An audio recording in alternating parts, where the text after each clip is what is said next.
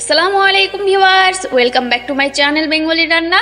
আশা করছি আপনারা সকলেই ভালো আছেন, আমিও অনেক ভালো আছি। আজ আমি আপনাদের তৈরি করে দেখাবো হাঁসের গোস্ত আলুদের রান্না। হাঁসের গোস্ত কীভাবে খুব সহজে আলুদের রান্না করবেন আর কতটা সুস্বাদু, দুর্দান্ত, খেতে লাগবে তাহলে চলেন শুরু করা যাক। এখানে নিয়েছি শুকনো মরিচ, বেশ কিছু। নিয়েছি আদা থিতে করে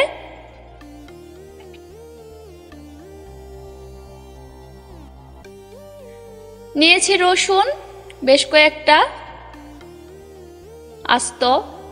নিয়েছি পেঁয়াজ, অনেকগুলোই নিয়েছি, দেখতে পাচ্ছেন। নিয়েছি তেজপাতা, তিনটা, মাঝখান থেকে ফেলে নিয়েছি। এখানে নিয়েছি হাঁসের গোস্ত। নিয়েছি আলু ভেজে। নিয়েছি দারুচিনি, তিন টুকরো, হাফ ইঞ্চি পরিমাণ। নিয়েছি সাদা এলাচ চারটে, কালো এলাচ তিনটে। জাস্ট একটু ফালি করে নিয়েছি। নিয়েছি গোলমরিচ এবং লবঙ্গ, পাঁচ থেকে ছয়টা করে। আমি যেই কড়াইয়ে আলু ভেজে নিয়েছিলাম, ওই কড়াইয়ে হাঁসের গোস্ত দিয়ে দিলাম। এখন আমি দিয়ে দিচ্ছি এক এক করে মশলা। যে মশলাগুলো আমি আপনাদের দেখিয়েছিলাম ওইগুলো সবগুলোই দিয়ে দিচ্ছি। দিয়ে দিচ্ছি লবণ পরিমাণ মতো। দিয়ে দিচ্ছি গরম মশলার গুঁড়ো, এক টেবিল চামচ। দিয়ে দিচ্ছি আস্ত জিরা, এক টেবিল চামচ। দিয়ে দিচ্ছি হলুদ গুঁড়ো, দুই টেবিল চামচ।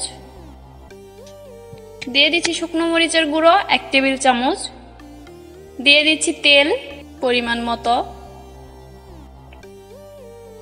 চুলা গাছটা অন করে দিয়েছিলাম, ঢাকনা দিয়ে ঢেকে দিলাম। তিন থেকে চার মিনিট পর উল্টিয়ে নিচ্ছি। সমস্ত মশলাগুলো একসাথে মিশিয়ে নিচ্ছি।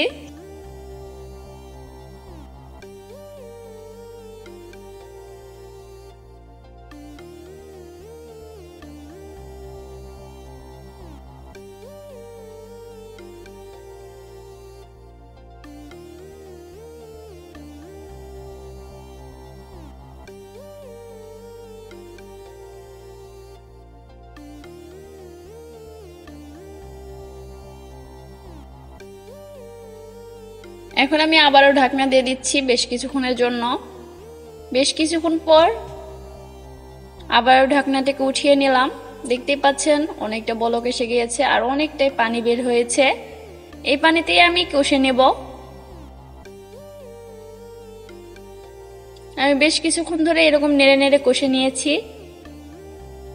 দেখতেই পাচ্ছেন, তেলগুলো ভেসে উঠেছে। আমি আরও কিছুক্ষণ একটু নেড়ে নেব।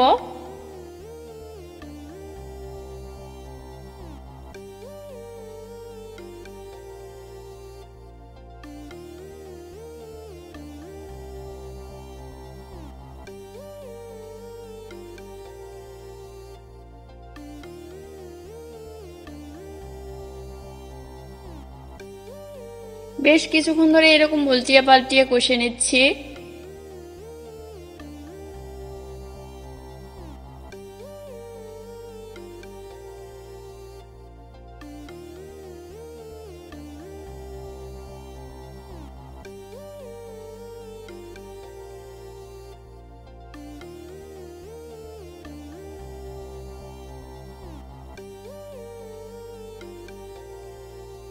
অনেকটাই রস মরে গিয়েছে। এখন আমি দিয়ে দিচ্ছি আলু।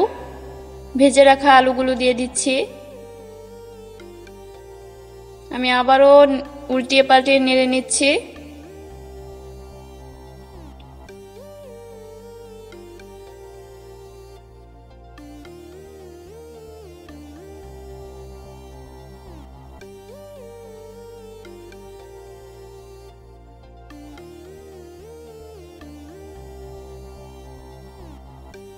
দিয়ে দিচ্ছি পানি।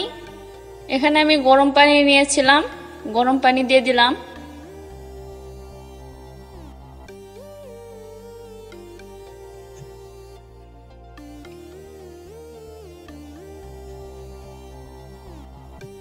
মেজারমেন্ট কাপের দুই কাপের মতো পানি দিলাম গরম। এখন আমি নেড়ে চেড়ে আবারও ঢাকনা দিয়ে ঢেকে দিচ্ছি। বেশ কিছুক্ষণ পর আবারও ঢাকনা থেকে উঠিয়ে নিচ্ছি। দেখতেই পাচ্ছেন অনেকটা বলক এসে গিয়েছে।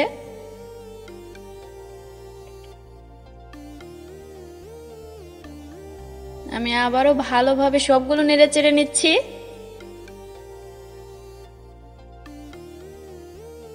আবারও ঢাকনা দিয়ে দিলাম। দেখতে পাচ্ছেন অনেকটা ঝোল মরে গিয়েছে। আর এই পর্যায়ে আমি এরকমই নামিয়ে নেব। আমি ভালোভাবে নেড়ে চেড়ে নিচ্ছি। এই যে, দেখতে পাচ্ছেন কেমনটা হয়েছে। আমি ঠিক এমনটা করব, আপনারা আপনাদের পছন্দ মতো ঝোল রাখবেন। এটা কোনো ব্যাপার না। আমার হয়ে গিয়েছে, আমি পরিবেশন করে নিয়েছি। এই যে, আমার আলু এবং হাঁসের গোস্ত রান্না হয়ে গিয়েছে। এটা রুটি এবং ভাত দিয়ে খুবই সুস্বাদু একটি খাবার। আমি আজ রাতে রুটি দিয়ে এটা খাব এই জন্য রান্না করেছিলাম।